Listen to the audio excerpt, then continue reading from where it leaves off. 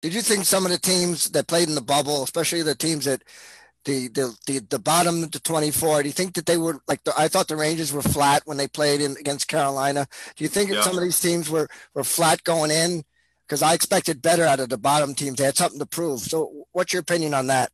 Yeah i think uh, for a lot of the teams it was hard to manufacture. You know i i, I spent some time with with craig berube head coach craig berube of the st louis blues last year's stanley cup champs and uh and his lovely uh, partner danielle we had a great talk in, in new york city probably about two months ago. We spent some time together there.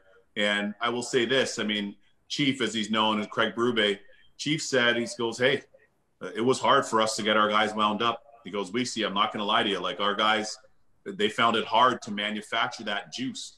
And a guy like Jordan Binnington, who had such an amazing rookie season and a great season this past year, too, by the way, he's an NHL All Star, but he's the guy that feeds off the crowd. A lot of guys feed off the crowd. I mean, you know, there was basically like they were playing in a sense uh, without having our great passionate NHL fans in the building. You know, you miss the oohs and ahs.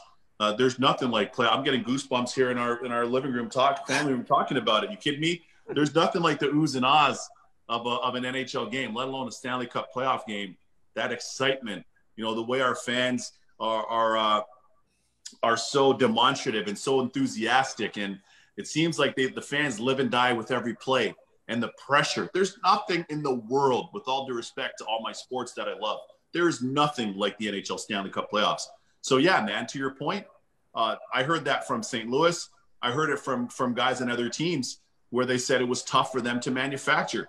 Boston Bruins are another one of those teams. You just asked me.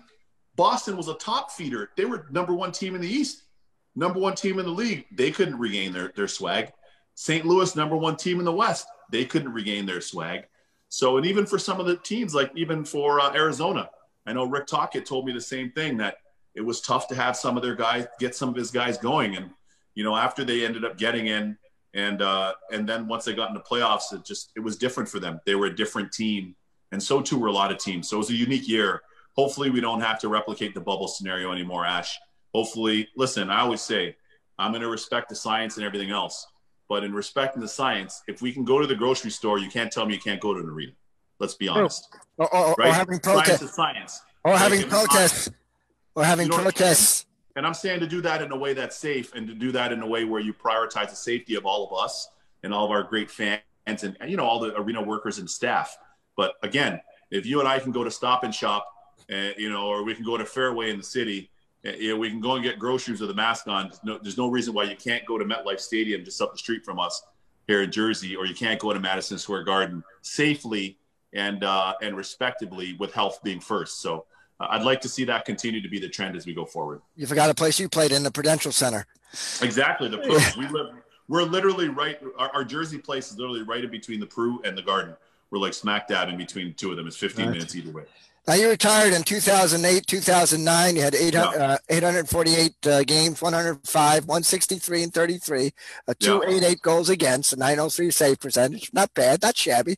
How Thank do you, you think goaltending has changed from the time you retired till now? Well, I think one of the things that's that's been really cool with the evolution of our position is we've you know it goes through different ebbs and flows. One thing that's changed is it became it started to become really super structured in terms of technically speaking. And I feel now it's kind of gotten a balance between structured and athletic. And athletic was back. So, you know, Jonathan Quick is a guy to me that's this modern day Mike Richter. And, and Quickie told me Mike Richter was his favorite goalie growing up. Keep in mind, Jonathan Quick is from Connecticut. And he grew up a Ranger fan. So the great Mike Richter had a huge impact on him, and you can see it when he plays. You see how explosive he is. You see how dynamic he is. So it's nice to see that athleticism that's back. Uh, also, if you look at a guy like, for example, Vasilevskiy, we were talking about that earlier. He's a big, powerful athlete goalie. Like he, he wears 88. We know the great 88, my man, the big E, Eric Lindros, Hall of Famer. But he wears his number in the net, and he's almost as big and powerful as the big E was as a power forward center. So it's kind of weird to see that evolution, and we're seeing that in a goalie form. Uh, but you also you also have uh, the the technical kind of wizardry of Carey Price, where he's technically perfect, and then you have another young version of him in Carter Hart down the turnpike with the Philadelphia Flyers, who's an absolute ace already at 20, 21 years old. playing in the NHL and going head to head with every top goalie in the league. So what I've in in totality we've come to see now goalies that are now both technical and athletic. And because of the way that the game's played and all the movement and the defensemen getting up in the attack offensively, like a Brian Leetch, like a Rob Blake in years gone by, now we have Cale Makar jumping. Now you've got Quinn Hughes jumping. You have John Carlson for the Washington Capitals. And because of that, that the defensemen attacking a lot more, Zach Werenski, as I mentioned in Columbus, along with uh, Seth Jones in Columbus. Now what's happened is the goalies have to be able to move. You can't be as predictable. So we've got a good balance between technical and athletic, and it's fun to watch. Do you think uh, they should put the red line back and get rid of the trapezoid? I know the great Scotty Bowman thinks they could put they should put the red line back. He's been a big proponent of that. Uh, you know, my former teammate and the great Marty Brodeur isn't playing anymore, so there isn't anybody that handles the puck quite as well as he does. Although there's some guys that handle it really well. Jordan Binnington, Ben Bishop when he's healthy, those guys are masters in handling the puck. But uh, I would be in favor of seeing the trapezoid gone. You know, I think the best part of it is is being able to get in on the forecheck. And our our sport is such a speed game now with these speed merchants that you have, like Nate MacKinnon, who looks like a V12 engine when you watch him fly. Uh, Connor McDavid is the fastest player I've ever seen, period, hands down, with respect to the great Pavel Bure, with respect to the great um, Paul Coffey, as an example. Connor McDavid is the fastest thing I've seen uh, on skates ever, in, you know, in, in hockey. So I, I, would like to see the trapezoid be gone for that reason, because if you're able to dump the puck in, um, you know, I think it create a little bit more havoc on the forecheck. But all things being equal, that's a little tweak. I think our game's amazing. It's in an amazing place right now. And Ash, you've been around this league a long time. You've seen a lot of hockey in your day, and I know you have. You're smiling. One thing that's really cool is the fact that we're seeing so much more skill, and skill isn't only being limited to a Mario Lemieux or Brian Leetch or a Mess. You know what I mean? It's not only your top end players that are showing skill, but now you're seeing more skill up and down the lineup, and coaches have a little more flexibility. Sorry, a lot more flexibility and allowing their players to showcase their skill, which I think is great. Last question. What, what do you sure. what do you see uh, heading into uh, 2020, 21? When do you think we'll start? My thought is January. Some either either early January, mid or late, but I think sometime in January. Pardon me. And here's my big thought. You know, my big thought is, and I've thought this a long time. If I'm running an NHL team, especially now, especially given the pandemic, it's really important to have as much versatility in your lineup as possible. And I think if you look at the at the Stanley Cup champs in Tampa, they're another example of that, right?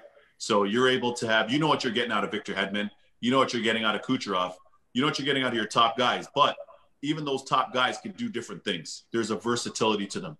So Kucherov didn't only make plays from one part of the ice, right? Brayden Point didn't only make plays from one part of the ice. Same thing for Victor Hedman. He could score anywhere in the offensive zone, but the same thing for their depth players. So your depth players come in. Look at a guy like Kevin Shattenkirk came in and, and he looks reborn.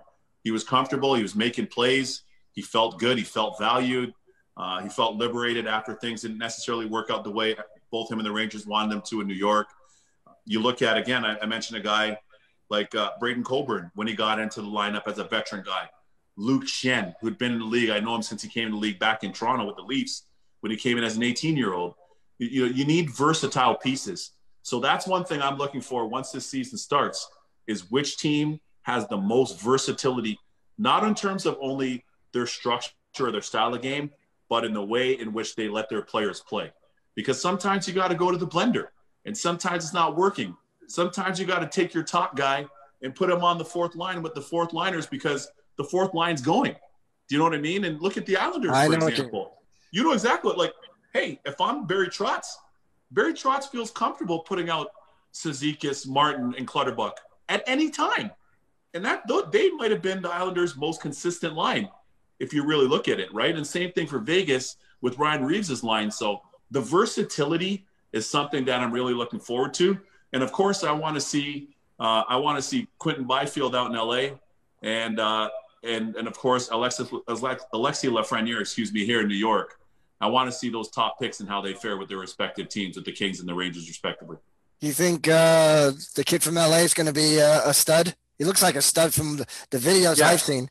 Yeah, Byfield has all the pieces. You know, former NHL player, a guy I played against from the OHL back in our day, in Cory Stillman, uh, multiple NHL Stanley Cup champ. We played against each other in the league. Stiller's coaching. You know, his son plays for the Florida Panthers, Riley Stillman, and uh, Stiller coached Byfield up in Sudbury in the OHL back home. So, uh, from everything that I've heard about Byfield and everything that I've watched and everything that I've seen, and especially for his size and his strength and his ability to skate and make plays, he could very well be an Anze Kopitar 2.0, which is exactly what the LA Kings are hoping he becomes. Uh, because Anze Kopitar has obviously been great and he's getting close to uh, a thousand points in his career and he's won two Stanley Cups. He's a world class player and maybe a Hall of Famer already too. So that's what the Kings are hoping for in Byfield.